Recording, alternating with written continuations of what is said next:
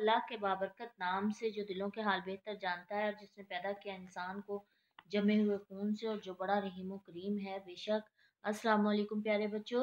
उम्मीद है कि आप सब लोग अल्लाह ताला के फजल करम से खैर वाफियत से होंगे और मौसम सरमा की सर्दी को एंजॉय कर रहे होंगे। ओके प्यारे बच्चों, जल्दी से आप लोग आप बुक उर्दू की बुक ओपन करेंगे। आज जो हम उनवान पढ़ने जा रहे हैं, उसका नाम है साथ साथ। ये बड़ी मज़े की इंटरेस्टिंग स्टोरी है। आपने बहुत गौर से सुनना है इसको। ये दो दोस्तों की एक कहानी है, ठीक है और मुश्किल अल्फाज को अंडरलाइन करते जाना है ताकि हम उनके मीनिंग बाद में लिख लें। चलें जी लेट स्टार्ट रीडिंग लालू और रहीमू एक ही गाँव के रहने वाले थे, ये दोनों दोस्तों के नाम हैं। उनके घर भी साथ साथ थे, लालू का असल नाम लाल मोहम्मद था और वो एक किसान था।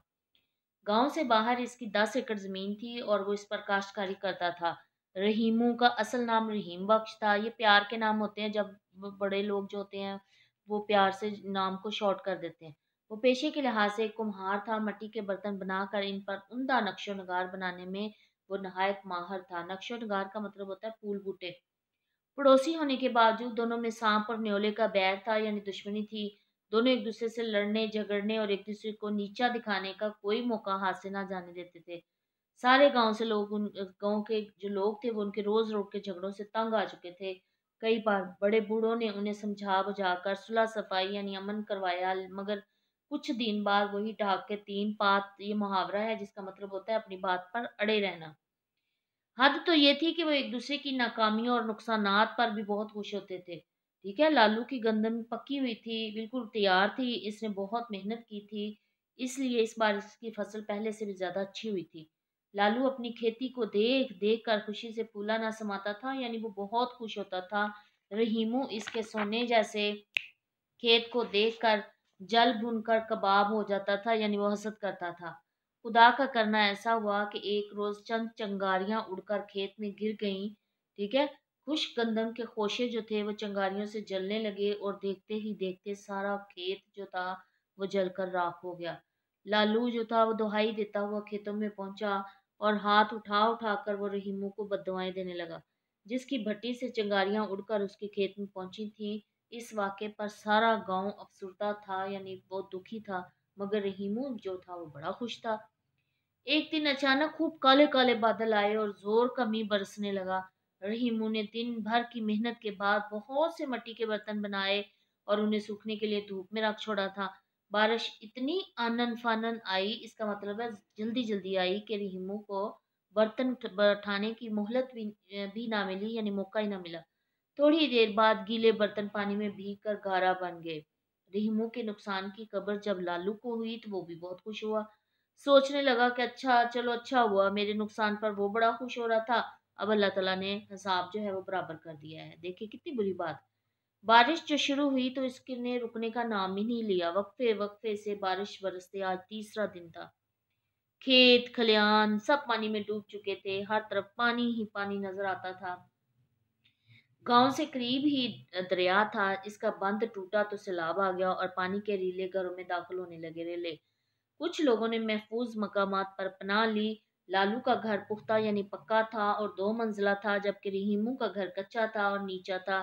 इसके घर में क्या हुआ, प्यारे बच्चों के पानी दाखिल हो गया और वो अपने छोटे छोटे बच्चों के साथ अपने कच्चे घर की छत पर प्लास्टिक कोड़े बैठा हुआ था। लालू अपनी दो मंजिला इमारत से ये देख कर रहा था और लालू रहीमू की हालत देख कर वो खुश हो रहा था। ठीक है? आप जो है, आगे जो इसका अंजाम हुआ, वो बच्चों मैं आपको खुद सुनाऊँगी। आपकी स्लाइड में नहीं आएगा, लेकिन मैं आपको खुद सुनाती हूँ। क्या हुआ कि वो ऊपर बैठा जो था लालू, वो चाय पी रहा था, गाने सुन रहा था कि अचानक और रहीमू की हालत को देख देख कर वो खुश हो रहा था। ठीक है, अचानक रेडियो में कुरान पाक की सुरा अल हदीद की आयत नंबर तेईस जो थी, उसके तर्जमे की आवाज़ आई जिसमें था, अल्लाह किसी अतराने वाले और शेखी बगाड़ने वाले को दोस्त नहीं रखता। ये सुनकर जो लालू था, वो बड़ा परेशान हो गया और सोचने लग गया कि अचानक उसकी नज़र जो थी, वो गली में एक बहते हुए टोकरे पर पड़ी। जिसमें पानी जो सैलाब जो आया हुआ था, उसके अंदर एक टोकरा बह रहा था, जिसमें एक सांप और चिड़िया अपने बच्चों को लेके बैठी हुई थी। तो उसने जब देखा तो सांप जो था, मुसीबत की इस घड़ी में उसने चिड़िया और उसके बच्चों को कोई नुकसान नहीं पहुँचाया। तो लालू ने इससे बहुत ज़्यादा सबक सीखा। वो भागा और फ़ौरन लालू रहीमों के घर पहुँचा। उसने रहीमों से माफ़ी मांगी और उसकी और उसके बच्चों की मुसीबत के वक्त में मदद की और उनको सैलाब से बचा लिया। ठीक है? और अब उन दोनों ने क्या किया? अपनी दुश्मनी को ख़त्म कर दिया और दोस्ती जो है इख्तियार कर ली ठीक है? वो दोनों दोस्त बन गए अच्छे और पक्के ठीक है? इसलिए प्यारे बच्चों किसी के भी दुख को अपना दुख समझना चाहिए किसी के नुकसान पे खुश नहीं होना चाहिए ठीक है? और क्योंकि अल्लाह ताला को ये चीज़ पसंद नहीं है।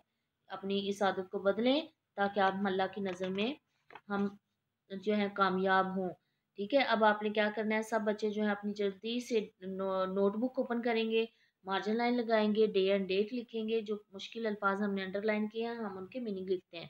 ठीक है?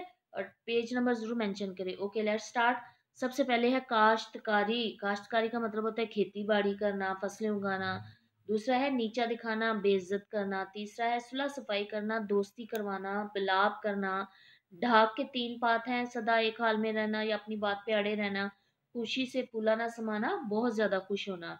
अब आपने सबक की बहुत अच्छे तरीके से पढ़ाई करनी है और ये अल्फाज मानी याद भी कर कर लेने हैं। अब आप जल्दी से अपनी डायरी ओपन करेंगे। डायरी में है सबक साथ साथ की आपने पढ़ाई करनी है, ठीक है? और जो उसमें आपने क्या करना है कि दरख्वास्त, फ़ीस, माफ़ी का जायज़ा तैयार करना है आपने, ठीक है? प्लस दरख्वास्त, फ़ीस, माफ़ी का जायज़ा तैयार करना है आपने। बहुत अच्छा ठीक है? It's over no thank you so much. Stay home, stay safe, stay